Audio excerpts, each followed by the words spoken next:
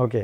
Rohit top ఫైవ్లో ఉండాల్సిన క్యాండిడేటేనా కాదు దానికన్నా better position super. I will expected this as actually to be frank మీరేమంటారు? మీరే ఆల్రెడీ మీ నోట్ అంటే ఇంక లాస్ట్ టైం కూడా కాదు మీ నోటుతో కూడా అంతమంది ఆడియన్సే చెప్పారు? అదే అవును. చాలా ఇంకా అది ఒకటి చాలు. బట్ మీరేం చెప్తారు? ఎందుకంటే లాస్ట్ టైం ఏమో పక్కాగా కప్పు కొట్టుకొని వస్తారని మనం అనుకున్నాం ఇదే ప్లేస్లో. అవును. సో కప్పు తేకపోయినా అంతకన్నా వాల్యూగా వచ్చారు. ఎస్ అంతకన్నా ఎక్కువ లైక్ ఒక చాలా పాజిటివ్ నోట్తో వచ్చారు. చాలా మనసులు గెలిచారు. దీనికన్నా ఎక్కువ మనకేం. ఇంటికి వచ్చే దిష్టి తీసారా? తీసాం. గుమ్మడికాయతో తీసాం. ఖచ్చితంగా అనుకున్నా. అండ్ రైట్ గీతు గారి గురించి ఒక టూ మినిట్స్ మాట్లాడుకుంటే సో ఆవిడ ఫస్ట్లో ప్రతి ఒక్కరి నోట టాప్ ఫైవ్ కంటెస్టెంట్ అనే మాట వచ్చింది. Hmm. సో అలాంటి టాప్ ఫైవ్ కంటెస్టెంట్ సడన్గా ఎలిమినేట్ అవ్వడానికి కారణం ఏంటని మీరు అనుకుంటారు నేనైతే ఎప్పుడు టాప్ ఫైవ్ అని చెప్పలేదు గీతుని. కొంతమంది అనుకున్నారు కొంతమంది అనుకున్నారు. మేబీ తన బిహేవియర్ అంటే ఓవర్ యాక్టివ్ ఓవర్ యాక్టివ్ అంటే హైపర్ యాక్టివ్ హైపర్ యాక్టివ్ ఉండడం వల్ల తన మాటల వల్ల maybe talking about the game always Bigg Boss Bigg Boss she's crazy about Bigg Boss. So అలా అనుకున్నారు. కానీ అందరికీ ఇష్టమే కదా బిగ్ బాస్ అంటే. అందరికీ ఇష్టమే. తన తనకి కొంచెం ఎక్కువ. మేబీ తన అలా ప్రొజెక్ట్ చేస్తుంది. She. Loves Bigg Boss. She's crazy about Bigg Boss అని అందరికీ అర్థమైంది. She's kind of a kid ఒక ఒక్కొక్కసారి అనిపిస్తుంది అరే ఎందుకు చేస్తుంది ఇవన్నీ ఒక చిన్నపిల్ల మనసు కూడా అనిపిస్తుంది దాంట్లో. ఓకే సో టాప్ ఫైవ్ అనేది చాలా మంది అనుకున్నారు. దాన్ని బట్టే మేబీ తన మాట్లాడే విధానం మేబీ మాట్లాడే ఏం మాట్లాడుతుంది కొంతమంది అనుకున్నారు. నాకైతే కొంచెం ఎఫెక్ట్ అయింది. కొన్ని కొన్నిసారి వాంటెడ్గా పోక్ చేయడం. అంటే బిగ్ బాస్లో వచ్చామంటే వాంటెడ్గా ఆర్గ్యుమెంట్ చేయాలి వాంటెడ్గా పోక్ చేయాలి అలా అనిపించింది నాకైతే. So I think that all those things are not necessary to be in top five just be what you are అని. నాకైతే చేపల టాస్క్ అనేది తనకి చాలా నెగిటివ్ అయ్యింది. దానివల్ల బయటకు వచ్చేసారు అని నాకైతే అనిపించింది. సో ఆ టాస్క్ గురించి మీ ఒపీనియన్ ఏంటి?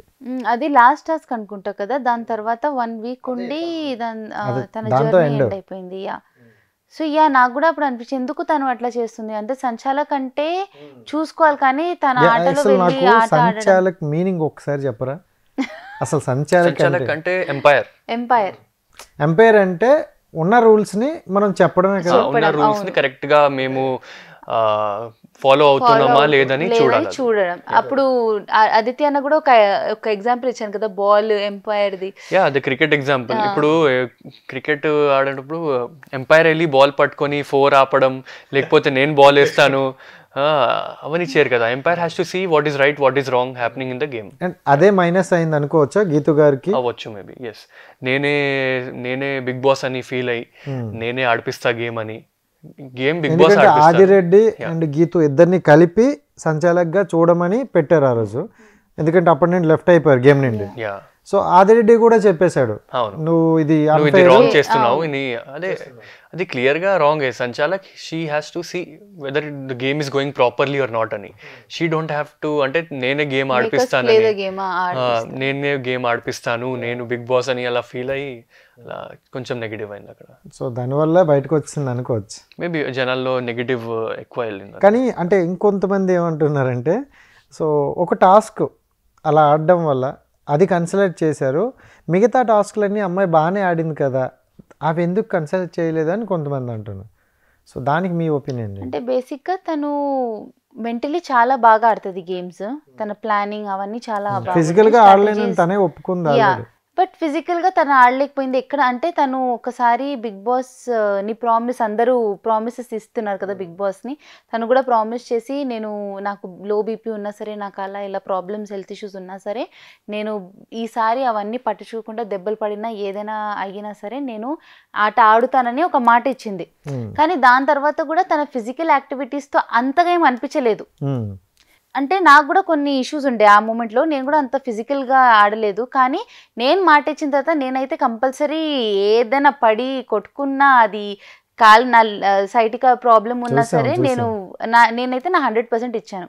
సో అప్పుడు నేను కూడా తనకు చెప్పాను నాకు కూడా ఇష్యూస్ ఉన్నాయి అలా అని కాదు. కానీ నువ్వు ఒక మాట ఇస్తే ఆ మాట మీద ఉంటే ఇంకా బాగుండేదని నేను ఒకసారి తనని నామినేట్ చేశాను. అండ్ ఈ బిగ్ బాస్ సీజన్ సిక్స్ చూసుకుంటే లేడీస్కి ఎక్కువ ఇంజూర్లు అయ్యాయని అంటున్నారు.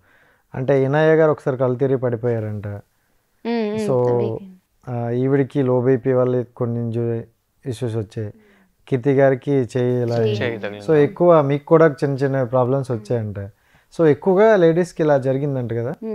కొంచెం తగిలినాయి. అమ్మాయిలకి అయితే కొంచెం అబ్బాయిలకే కాదు అబ్బాయిలకి కూడా అబ్బాయిలకి. కూడా అబ్బాయిలకి తగిలింది. ఇవన్నీ తగలడానికి కారణం ఒక కంటెస్టెంట్ అని విన్నాను. ఒక్క కంటెస్టెంట్ కాదు. అంటే రేవంత్ కంటెస్టెంట్ వల్ల చాలా దెబ్బలు తగిలాయి. అవి కొన్ని చెప్పుకోలేదు అందరూ అని అంటే కీర్తి ఫింగర్కి రేవంత్ రీజన్ కాదు. తన కీర్తికి.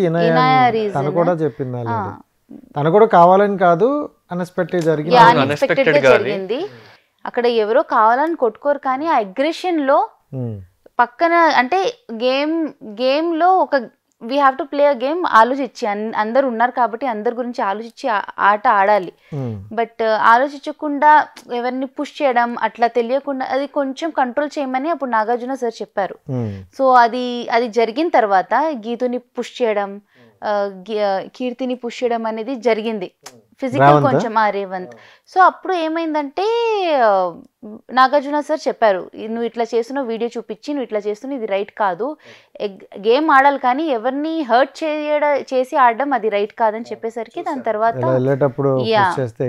నేను యాక్చువల్లీ రేవంత్ హ్యాండ్ చాలా స్ట్రాంగ్ ఆడు మామూలుగా ఇట్లా ముట్టుకోగానే మాకు పెయిన్ వస్తుంది.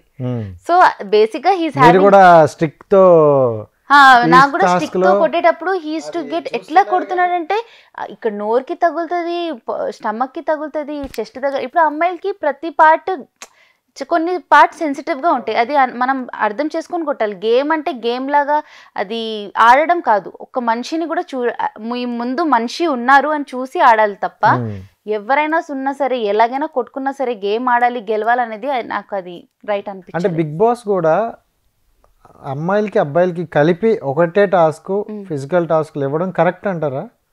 అది తప్పదు కదా but we have to see that మనం గేమ్ ఎట్లా ఆడుతున్నాం. గేమ్ ఆడి ఎలాగైనా గెలవడం ఇంపార్టెంట్ కాదు. గేమ్ ఎలా ఆడుతున్నాము?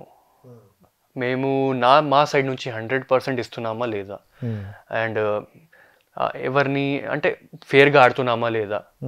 ఒక లిమిట్లో అంటే ఫిజికల్ అవ్వచ్చు నేను ఫిజికలీ స్ట్రాంగ్ నేను ఈజీగా ఫిజికల్ చేయవచ్చు నేను ఏదైనా చేయవచ్చు physically but there is certain limit for each and everything so ఏదైనా ఎవరికి హర్ట్ చేయకుండా గేమ్ గేమ్ లాగే ఆడాలి.